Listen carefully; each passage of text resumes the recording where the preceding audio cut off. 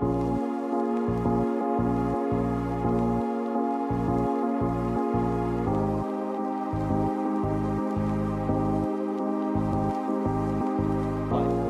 is, is just always mysterious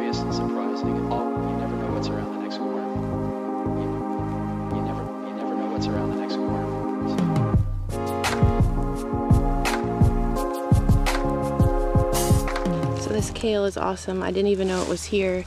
I actually finally cut this kale back and it's still trying to grow. And it was massive. It grew, it was huge. And I think I topped it and it even grew back. So kale is such a beast. So I'm over here and I'm weeding out this area and I'm actually making some weed water, is what I call it because so much soil comes up when I weed and so I'm turning it into water for my seedlings and just whenever I need to water. But there's a lot of weeds in here so it's looking kind of intimidating but it'll look really cool in fast speed if I can record it, right?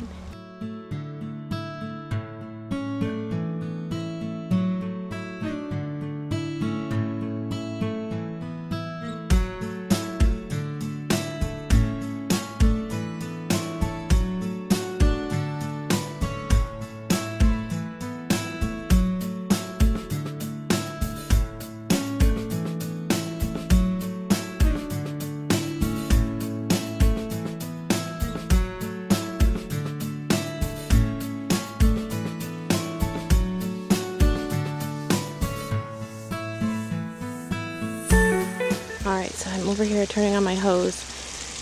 And I haven't even told anyone, but some of my friends that I got a chicken coop. So I'll show you closer up. My husband built it for me for my birthday. So we're going to build their run and then we'll have chickens soon. Super excited.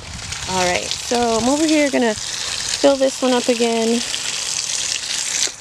This is that weed water. So you'll see, I'll stir it up and you'll see, but you can already see the dirt but I was going to lose all that soil and all its nutrients. So, you know, you can't help when you weed that sometimes you have to pull up the roots and so you get some soil. But I figured, here we go, that this, at least when I'm watering, I'll be watering with extra nutritious water and putting the soil back in. So this one's really light because it was just like the end and it's settled in there.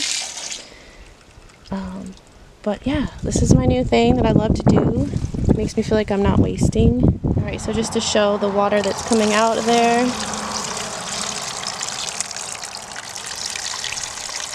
Nice water.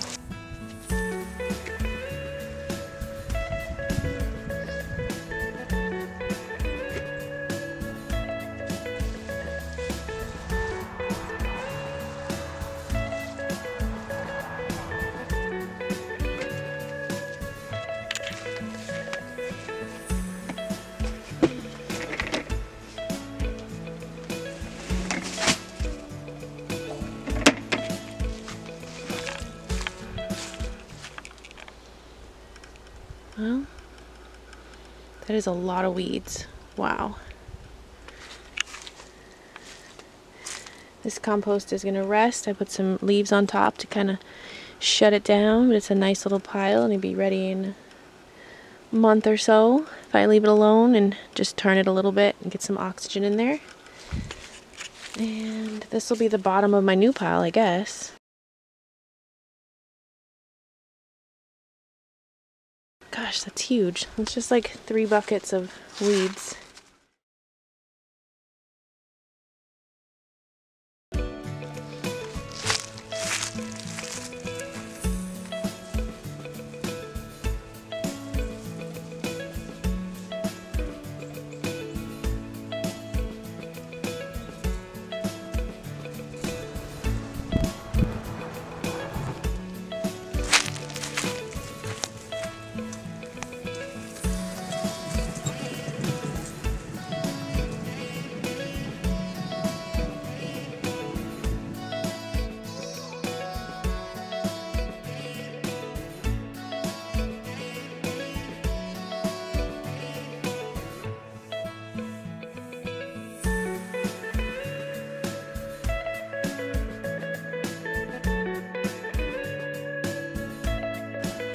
Looks like the onions that I planted in between the garlic are doing okay after the snow and the garlic is looking amazing.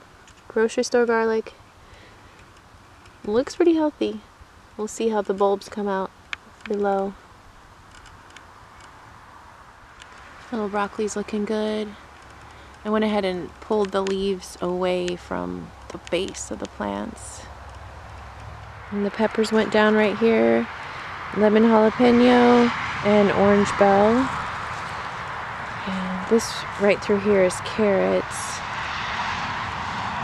But they are tiny, but they are going to be huge.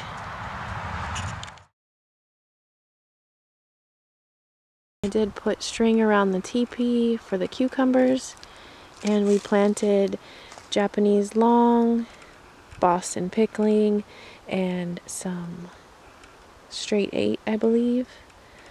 Um, so that should be perfect for cucumbers. That's all the cucumbers I should need and hopefully they'll have enough space.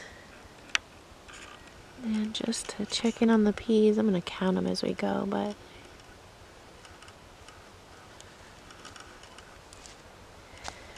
I put in some after the storm and some before because I didn't know how they would do with all that snow on top of them and all those days of cold. But they're doing awesome. But you can see that this this one's newer. This one was from before.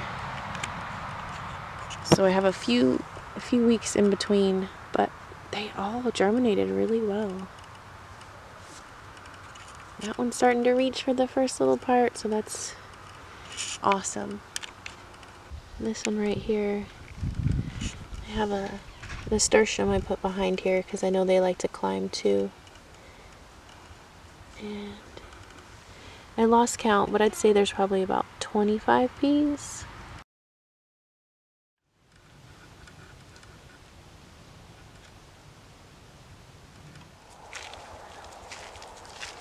Well, I think that's all I have for you today. Showing you what I did, and I hope you enjoyed hanging out with me in the garden. I got an ant bite on my foot because I was wearing flip-flops. But it was like 77 today. Those are the kind of days I live for. Had my sunscreen on, had my hat on, but really enjoyed that weather. So thank you for watching the weekend garden vlogs, and I'll see you next weekend. Bye.